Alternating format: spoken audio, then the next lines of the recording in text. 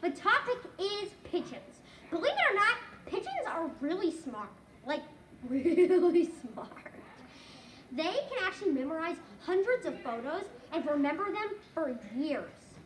So next time somebody calls you a bird brain, I mean, technically it's a compliment. And anyway, bye. I, am really hot in this jacket. Bye. Tune in for the next episode, Climate Change. I, I'm out of here.